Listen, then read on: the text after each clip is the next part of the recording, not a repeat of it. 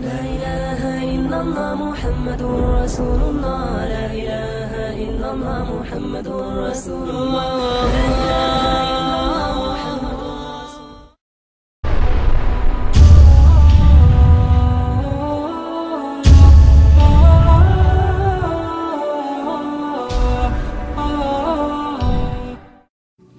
Once I saw the messenger of Allah sallallahu alaihi wasallam walking through the gullies and walking through the streets, telling the people, "Ayyuhan nasu, O people, qulu la ilaha illallah tuflihu." Please say la ilaha illallah, and you will be successful.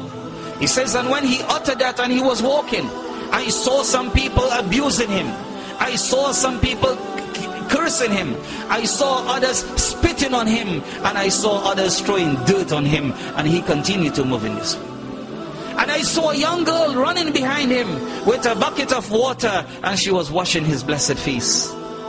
Haris bin Haris said, I asked, who is this young girl? The people said, this is the Prophet's daughter Zainab radiallahu. People divided themselves into different categories. Those who were throwing dust, they threw dust. Those who were throwing dirt, they threw dirt. Those of them who spat on his face, they did that. Those who abuse him, they continue to do that.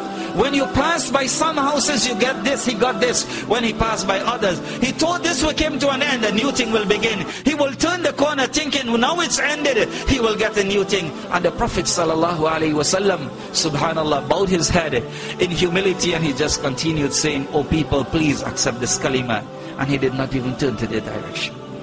And the people did what they wanted. Similarly, Tariq bin Abdullah, Al-Muharibi, he has narrated in the Musannaf of Ibn Abi Shayba. He says, I saw the Prophet wasallam in the marketplaces of Zulmajaz. Zulmajaz is the name of a marketplace where people go to sell their things and buy things also. We have marketplaces, a name called Zulmajaz. He says, I saw the Prophet wasallam going through from house to house. Every group of people he met, every person he met, he said, please recite this kalima and believe in this kalima and Allah will help you and Allah will make you successful in this life and the life hereafter. He said, I saw a man walking behind him foot to foot, inch to inch, with stones in his hand. And anytime the Prophet spoke to someone, he will pelt him with the stone. And he will pelt him with the stone. And the man, when the Prophet told the people, people, say La ilaha illallah, the man will say, Ya ayyuhan so people, La tuti'uhu, do not, do not accept this man. Do not listen to what he's saying. فَإِنَّهُ كَذَّابٌ He's a liar. And the Prophet will continue. He said, I saw the man. That man had stoned him so much that the entire body of the Rasul sallallahu alaihi wasallam was smeared with blood. His daughter Zainab and other daughter Fatima will rush with water. The Prophet will be sitting at the side. They will be washing his body. They will be weeping. They will be crying and will say, Father, what is happening to you? Oh, oh Father, when will it end? When will it end? And they will, he will say to them, my daughters. He says, Inshallah, one day, one day the message of your father will reach every home in this town. Subhanallah. One day the message of your father will reach every home in town. The Prophet wasallam went through such suffering that Anas radiallahu ta'ala said, Anas radiallahu ta'ala said the hadith recorded in Musnad Ahmad and Abu Ya Anas radiallahu ta'ala says once the Quraysh and the unbelievers had uh, given such a beating to the Prophet sallallahu alaihi wasallam that he became unconscious. Can you imagine the kind of beating that it will take a man who has the strength of 40 human beings to fall unconscious? They struck him from every side. Who did not use the hands, use the feet?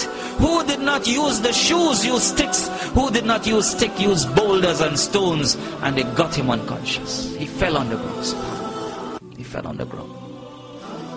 As soon as Abu Bakr radiallahu ta'ala and his close companion heard that, he rushed to the scene. And he says, أَتَقْتُلُونَ رَجُلًا يَقُولُ رَبِّيَ اللَّهِ He says, what is wrong and matter? What is the matter with you people? Are you killing a man who says, my God is Allah, the one creator? And they started on him also.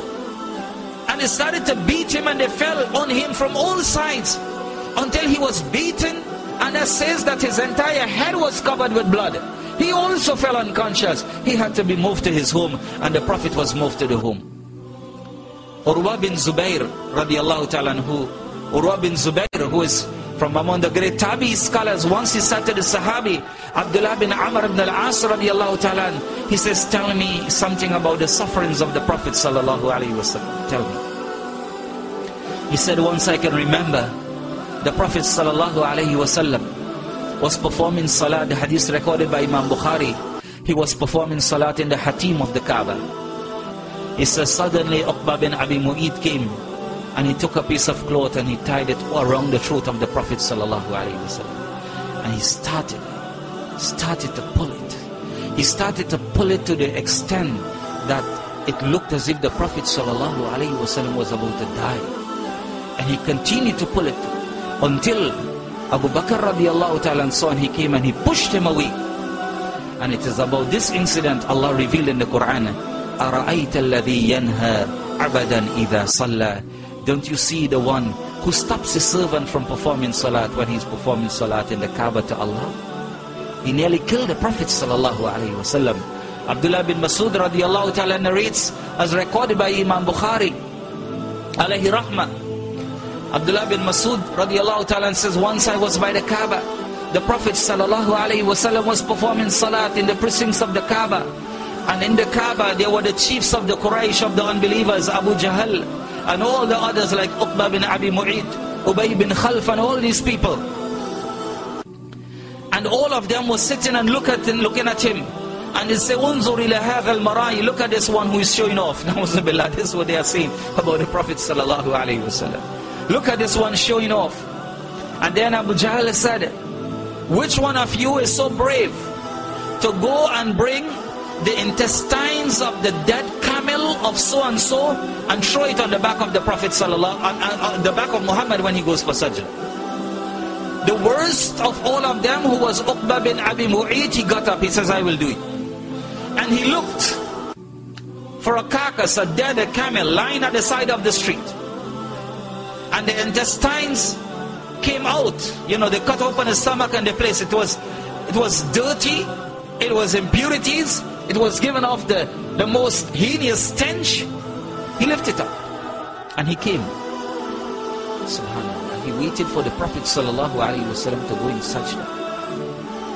And when the Prophet sallallahu wasallam went in sajda, he took the entire thing and he placed it on the back of the Prophet sallallahu wasallam. It was so heavy.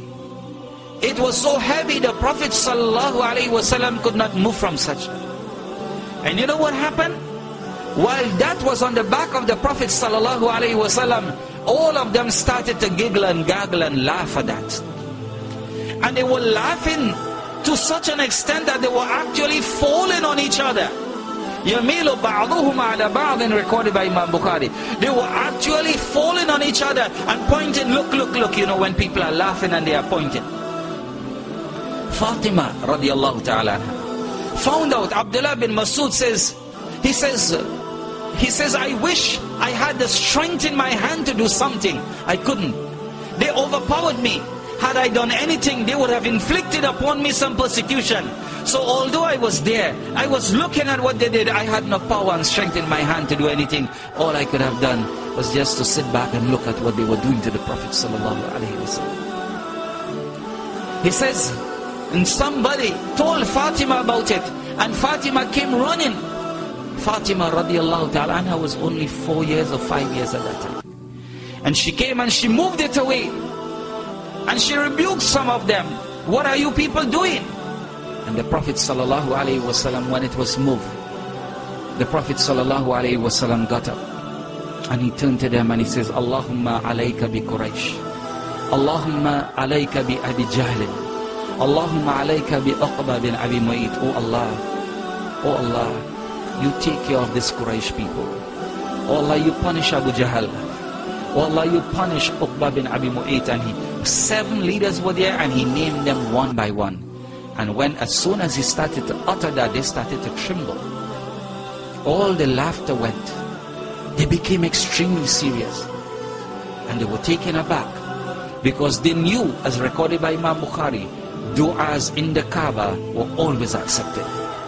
Supplications in that holy house, which is the house of Abraham alayhi salam, the house of Abraham, they were always accepted. And Abdullah bin Masud said, the names that the Prophet sallallahu wasallam called out, I saw all of them dead in the battle of Badr, they were killed. As he made dua, Allah destroyed all of them.